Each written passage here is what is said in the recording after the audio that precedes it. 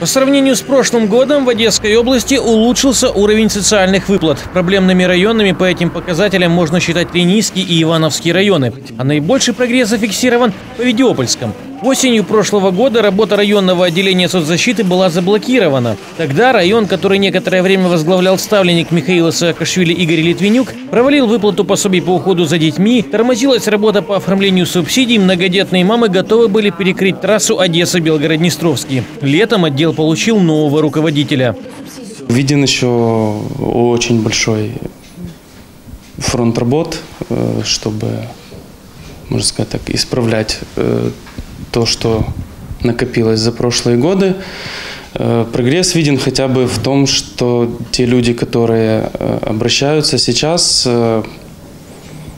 ну, упал в негатив, нет уже такого негатива, то есть они ведут нормальный диалог, задают нормальные и корректные вопросы, они начинают разговор с того, что кто-то у них что-то украл.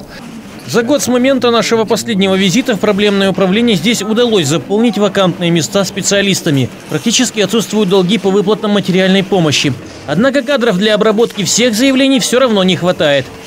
Вакантних посад у нас на сьогодні немає. У нас навіть не вистачає робочих рук. Працюємо ми навіть не 8 годин на день, а набагато більше. Тому роботи в нас дуже багато. У нас ще не збільшена структура управління, тому навіть при бажанні взяти у нас ще немає куди. Якщо буде така можливість, буде в нас збільшена структура управління, звісно, буде нас будемо набирати нові кадри додатково. Еще одна проблема – нехватка средств для помощи жителям района, которые обратились за деньгами на лечение. Районный бюджет предусмотрел сумму в размере миллиона гривен. Это на 300-400 тысяч гривен меньше того, что нужно для покрытия всех расходов. Впрочем, такой расклад наблюдается во многих районах.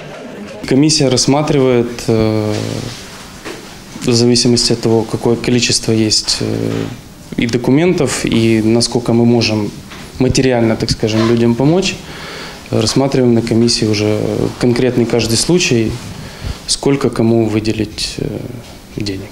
Конечно, по тем документам, когда их читаешь, которые люди обращаются, хочется, чтобы было больше, но тут чем богатый.